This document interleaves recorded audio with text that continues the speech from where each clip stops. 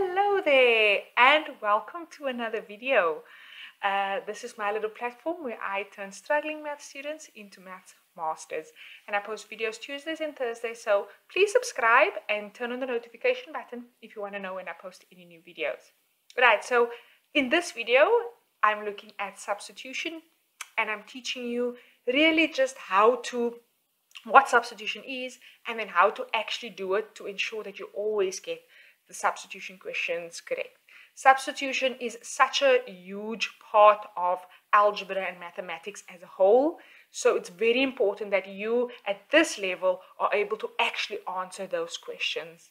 Okay, so without further ado, let's jump right in.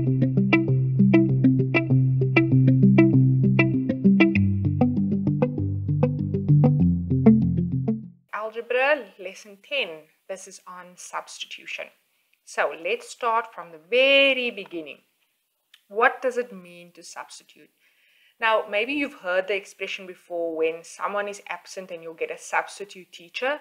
So that just simply means that you that one teacher is replacing another teacher for a period of time. So that's the sim that's a similar concept when we substitute in algebra it just simply means the following. It means we're taking, we are replacing a variable, which is our letters, right, with a numerical value. And then trying to find out what would the answer be if the variable was a numerical value. Okay? So let me give you an example of what this would look like. So given that a equals 2 and b equals negative 2, calculate the value of. So this is what a typical test or exam question would look like for substitution. Right, so let's say we had the first expression, AB. Now, if you've watched my previous videos, you would know that AB simply means A multiplied by B. So if we're going to replace every A with a 2 and every B with a negative 2, so in this case, it would look like this. I've got a 2 and I've got a negative 2, right? So that multiplied with each other. So you see there's the a multiplied by the negative two, the negative 2 and that gives me negative 4. So what have I done now? I have calculated the value of AB if A is equal to 2 and B is equal to negative 2.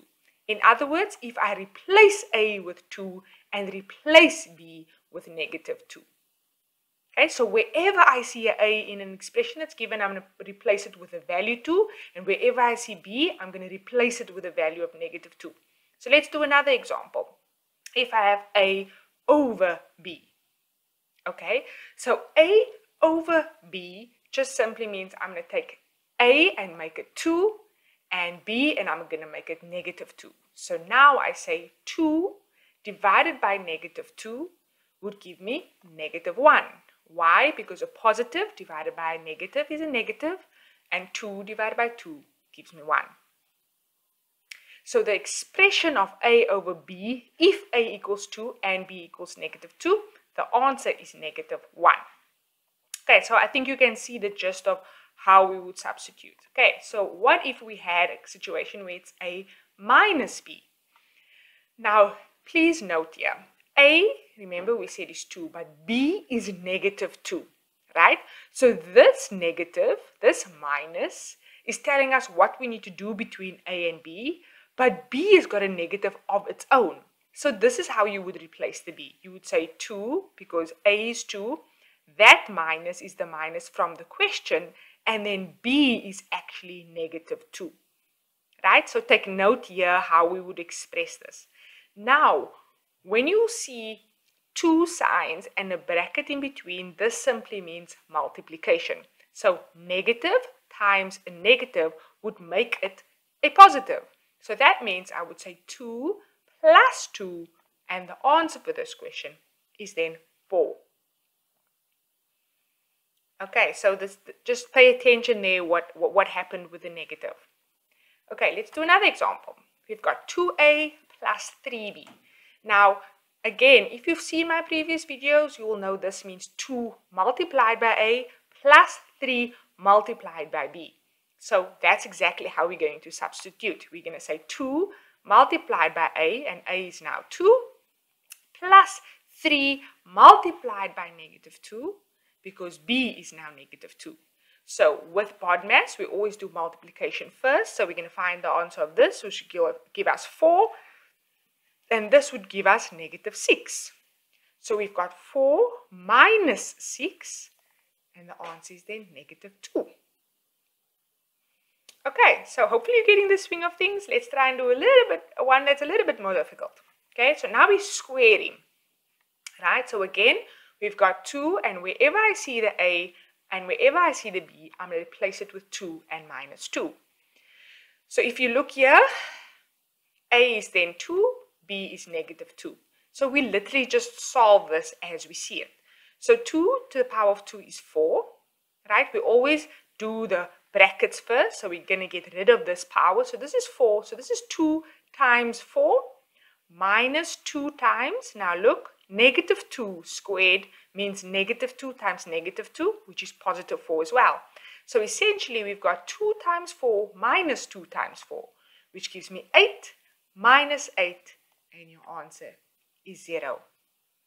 Okay, so this is how you would substitute. Now, when you get to grade 9, grade 10, this sort of becomes a little bit more complex. That's why it's very important that you try and make sure that you understand this as a foundation to what it is that you're going to do in later grades. Okay, now I'm going to do just three more sort of um, harder questions and then I'm going to give you an activity to actually try and see if you understand this work. Okay, so in this case now we have three variables given to us. x is equal to negative 1, y is equal to 3, and z is equal to negative 2. 2.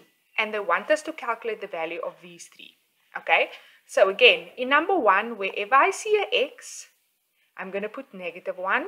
Where I see a y, I'm going to put 3. And where I have z, remember this minus is that minus, but z is negative 2. So this is what the question is going to look like. Now, multiplication is what we need to do for each of them first before we can actually add because of BODMAS.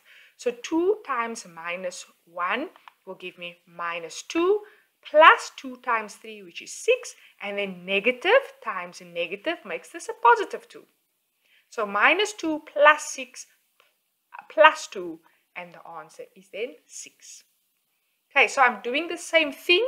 It's just for each of these questions now, you have to just make sure that you apply the correct mathematical rules in order to simplify. Also, as you see this first expression, you can type it into your calculator and also see if you get the final answer. Okay, number two, 2x over 4z plus 1.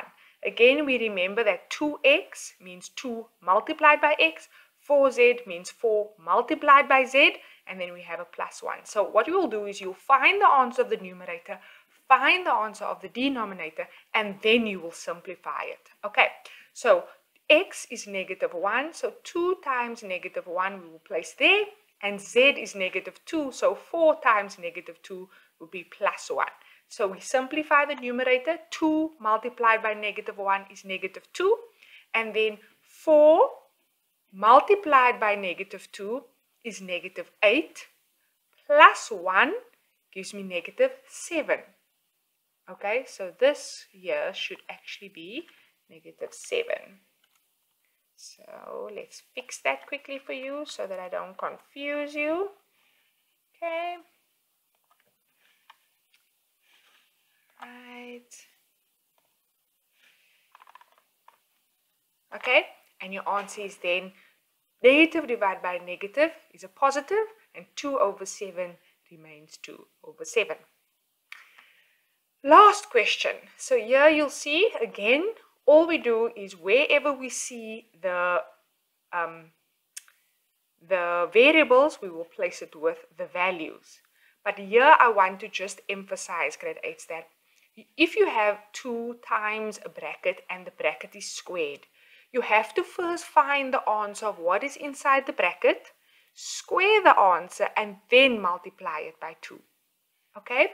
So, we've got the on the values here. So this is negative 1 and this will give me negative 9. So minus 1 minus negative 9 gives me negative 10, right?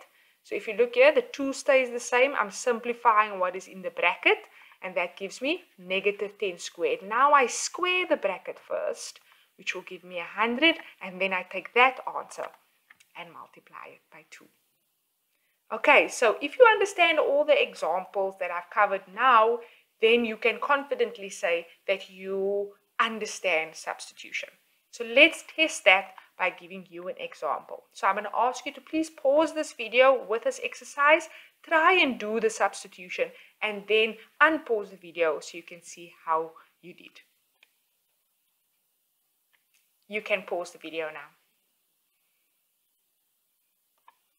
All right, so hopefully you feel like that went well and that you feel confident about your answers.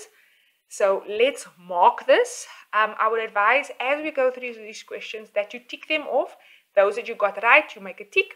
And those that you didn't get right, you uh, redo and try to use the examples that I've given in this question to help you to get to the correct answer.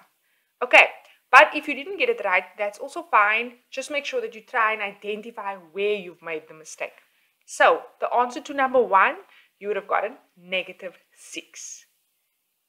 Okay, because I've replaced, so it's 3 times 2 times minus 1. By number 2, your answer was 4. Again, we've got 2 minus 2 times negative 1. All right, hopefully you've got two right so far. Okay, then number 3, we've got a plus b, which means we will have 2 plus negative 1 right? And then we multiply that by 2 and then add 3 to that answer. Okay, so the answer there should be 5. Number 4, your answer is 4. By number 5, your answer is 9. Number 6, your answer is 3.